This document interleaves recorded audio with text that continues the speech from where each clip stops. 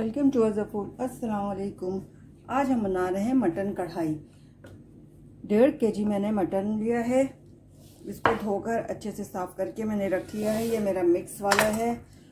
तो ये लिया है मैंने। इसमें हम डालेंगे। मैंने चॉप किया हुआ लहसुन लिया है। देखें, ये मैंने चॉप किया है। पिसा हुआ नहीं है। अगर आप चाहें तो पिसा हुआ भी डाल सकते हैं। वैसे चॉप किया हुआ का जो अरोमा होता है, वो बहुत अच्छा आता है। इसमें हमें अभी ऑयल नहीं डालेंगे।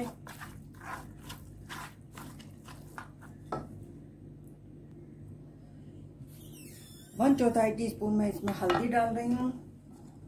इसकी हम कर देंगे अच्छी सी मिक्सिंग और मैं इसको रख दूँगी चूल्हे पर, हल्के फ्लेम पर। मैं इसका पानी खुश करूँगी गोश्त का, फिर इसके बाद गलने के लिए मैं इसमें पानी डाल दूँगी। अभी हमने इसमें कोई स्पाइसेस नहीं डाले हैं, नमक भी नहीं डालना है हमें।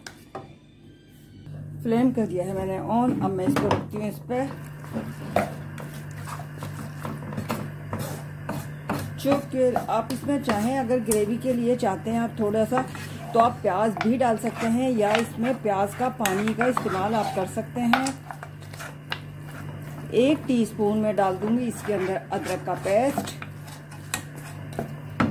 इसका गोश्त का अपना पानी खुश्क होगा। उसके बाद मैं इसमें एक से डेढ़ गिलास पानी डालूँगी गलाने के लिए, क्योंकि मटन है तो हमारा बहुत जल्दी मटन का गल जाता है। टमाटर हमारे जाएँगे इसमें तो टमाटर का अपना पानी भी बहुत ज़्यादा होगा। हल्की से एक दो टेबल स्पून के करीब मैं दही डालूँगी, ज़्यादा दही नहीं डालेंगे हम इसमें।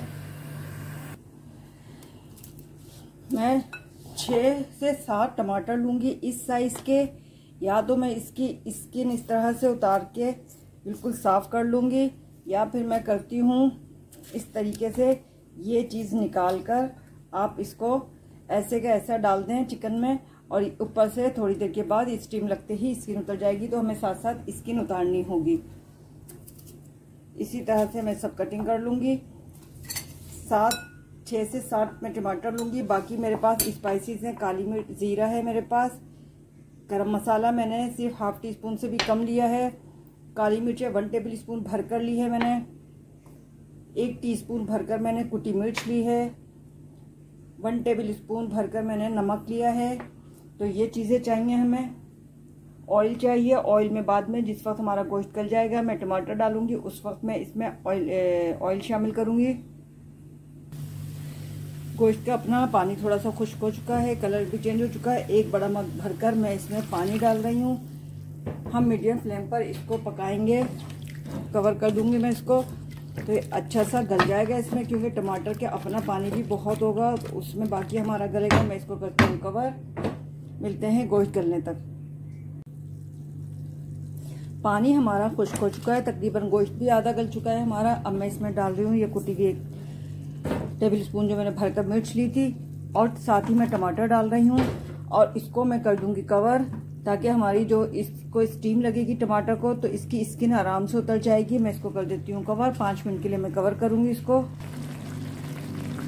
टमाटर हमारे अच्छे से सॉफ्ट हो गए हैं। इसकी स्किन हमारी आराम से करीब मैं इसमें ऑयल डालूँगी।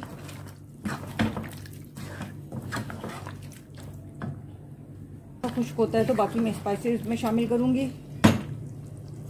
पाँच मिनट के लिए इसको कवर कर रही हूँ। पानी हमारा तकरीबन खुश्क हो चुका है। गोश्त बहुत अच्छा सा गल गया है।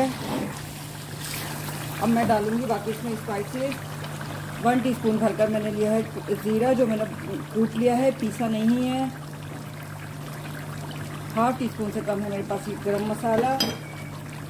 वन टीस्पून भरकर मैंने ली है काली मिर्च।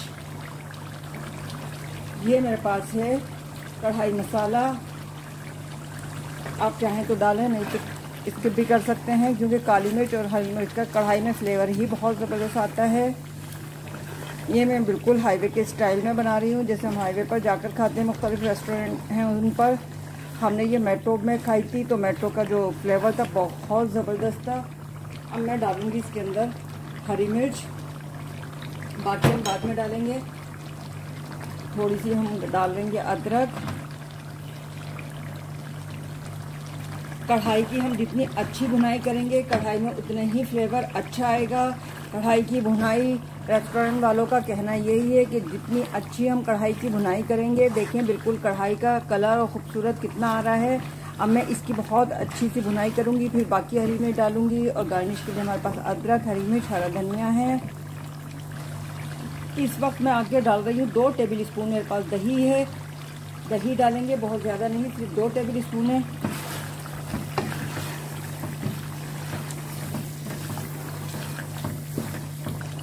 अब इसमें मैं बाकी की हरी मिर्चें डाल रही हूँ।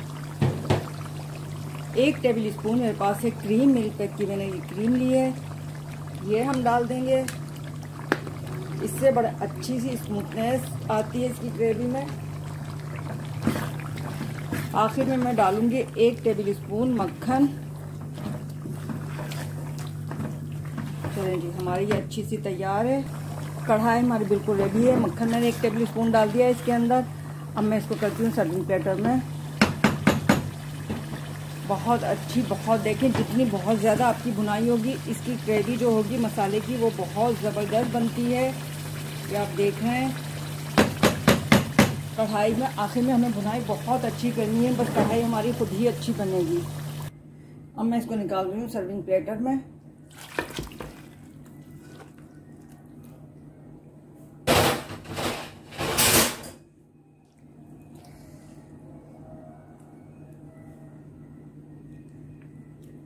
ज़बरदस्त इसकी गार्निश करेंगे हम।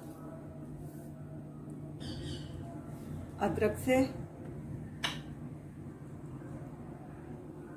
थोड़ा सा हरा धनिया। बस, हमारी ये कढ़ाई बहुत अच्छी सी तैयार है। बहुत अच्छी बनी है, ग्रेवी बहुत ज़बरदस्त बनी है। मैंने बुनाई बहुत अच्छी सी की थी। कढ़ाई में बुनाई हमेशा अच्छी होनी चाहिए। कढ़ाई हमारी खुद ब खुद अच्छी बनेगी। जब हमारी बुनाई अच्छी होगी तो क्योंकि इसमें बहुत कम मसाले जाते हैं, टेस्ट बहुत आता है कढ़ाई के अंदर तो ज़रूर आप ट्राई कीजिएगा। इसी रेसिपी को आप फॉलो करेंगी, बहुत अच्छी बनेगी। मिलेंगे फिर किसी अच्छी सी रेसिपी के साथ। अपना बहुत सा ख्याल रखेगा अल्लाह हाफिज़।